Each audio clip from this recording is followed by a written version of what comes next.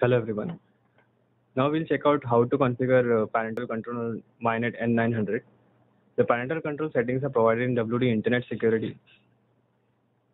This is a web-based access. You can see the URL is changed. It is wdinternetsecurity.com. So it takes you to a, a WD website where from where you can control the router's parental settings and you can modify it from there only. For that, first you have to configure your email ID and password on the router. To enable that, go to router dashboard click on advanced settings, go to security. On the left side, you can see parental control tab.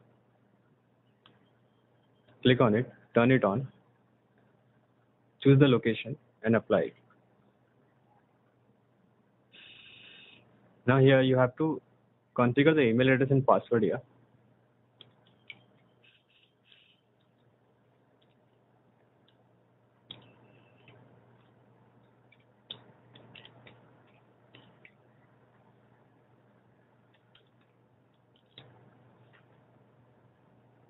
This password is your default password. It is not your email password. You have to use this to log in on this page.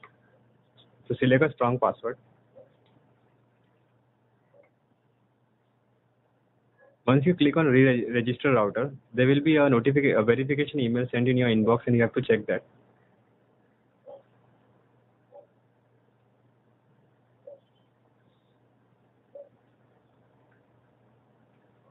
You can see there's an email provided by WD if this is the verification URL, you have to click on this.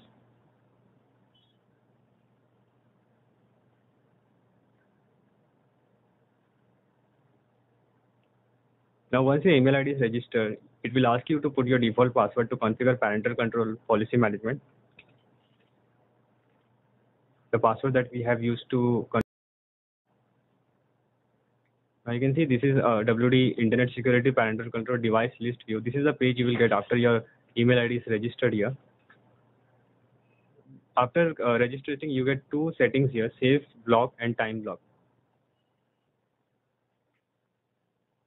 In safe block, you can add the URL of website which you want to block and you can click on save or block. Once it is clicked on save, the website will be accessible on the network. If it is clicked on block, the website will not be accessible.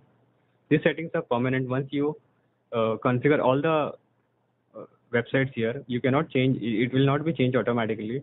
There are only maximum six. Another option offer your time-based block setting. Here you can see a small table of uh, table.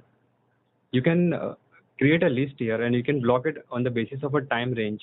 You just have to choose the time from here. And you can, you have to adjust the filter level here. For example, high, moderate, low, or none and whatever web, uh, list you had created to block a website, it will be blocked only for the specific time period. And after that, the, the website will be accessible. So these are a simple parental control device for parental control policy by Western Digital. Thank you. Uh, visit techarena.in.